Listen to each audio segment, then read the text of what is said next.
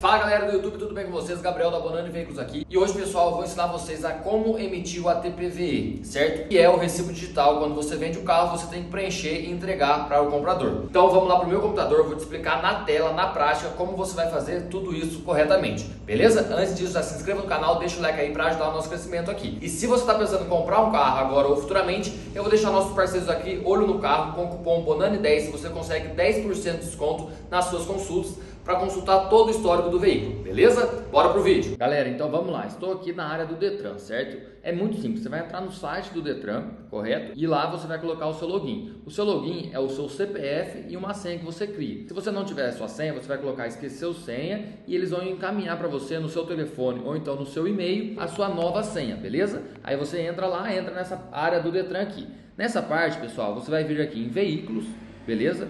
Aí você vai lá, transferência do veículo, e aí nessa parte você vai solicitar o ATPVE, certo? Que é a intenção de venda, digamos assim, é o recibo de compra e venda do veículo. Você vai clicar aqui, certo? E aí você vai clicar para mais informações. Vem aqui, faça pela internet. E aí aqui, pessoal, tem a autorização para transferência de propriedade de veículo. Quando você vender, você vai fazer isso. Você vai ter que colocar a placa do veículo e o Renavan. Eu vou colocar aqui a placa e o Renavan. Aí eu já coloquei a placa e o Renavan e agora eu vou colocar aqui não sou um robô. Lembrando, galera, que é o seguinte, somente você consegue emitir esse ATPV, certo? Nenhuma outra pessoa consegue além do seu despachante. Por quê? Porque você vai ter que logar na sua conta do Detran, entendeu? E aí você logando na conta sua do Detran, você pega e faz isso daí corretamente sem nenhum problema. Caso você não consiga, é só mandar o seu despachante, porque o despachante consegue fazer esse procedimento. Aí você vem aqui, não sou um robô, beleza? E avançar. E aí eles vão perguntar se você tem o CRV, que é o documento impresso no papel moeda. Provavelmente você não vai ter, porque agora todos os documentos já são digitais. Você vai colocar não e vai em avançar.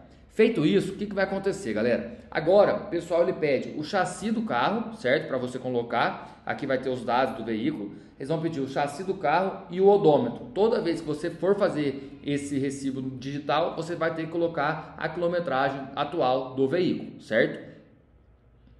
Aí você vai colocar. Colocou o chassi e a quilometragem do veículo, clica em avançar.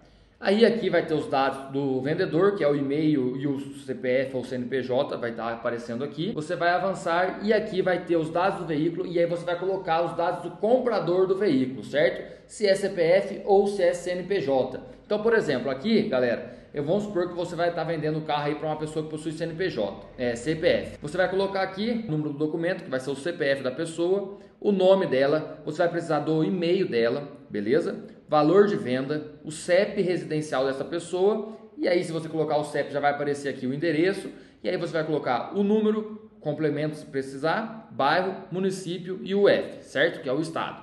Então, galera, é muito simples. Eu não vou preencher aqui porque esse carro eu ainda não vendi, tá bom? Eu não tenho dados para preencher o recibo desse carro. Mas é isso aqui que vai funcionar. Você vai preencher todos esses dados você vai clicar em avançar. Depois que avançar, galera, o que, que, vai acontecer? Vai aparecer de novo, novamente, os dados do comprador e os dados do vendedor, para você confirmar tudo corretamente, os dados do veículo também, para você ver se está totalmente correto. Quando tiver tudo correto, você vai colocar em avançar e aí vai gerar para você baixar o ATPVE, certo? Você baixou, vai imprimir e aí depois você vai reconhecer a firma do recibo e entregar para o comprador do veículo. É muito fácil, é muito simples e prático. Tá bom, galera? Então é isso. O vídeo de hoje foi esse. Espero que eu tenha te ajudado nesse tutorial. Peço para que você se inscreva no canal, compartilhe com seus amigos para ajudar o nosso crescimento aqui, que é muito importante. E também, se você quiser aí fazer a consulta veicular do carro que você estiver comprando, eu vou deixar aqui no link da descrição o cupom BONANI10 para você consultar no olho do carro para saber todo o histórico do veículo que você está comprando.